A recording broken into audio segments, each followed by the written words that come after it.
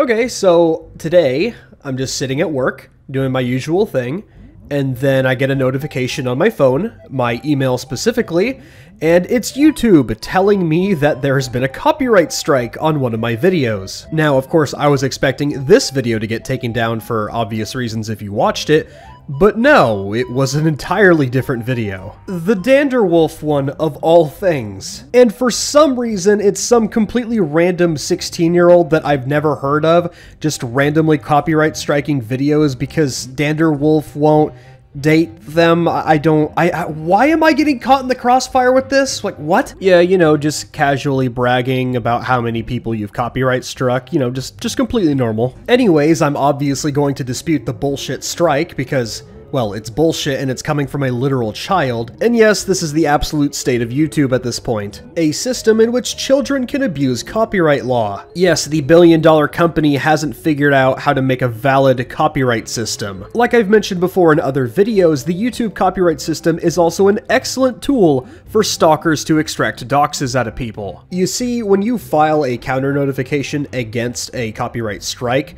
your information goes to the claimant, a very fun avenue for people to extract information out of others. A multitude of people beforehand have tried to use the system against me. YouTube thankfully has sided with me somehow in multiple instances, but in this instance, they're like, ah, oh, you know what, nah, nah, nah. This this claim, nah, it's not suspicious at all. Just take the video down. But yeah, I'm gonna get the video back up. This is just really stupid and dumb and stupid. Have a nice day.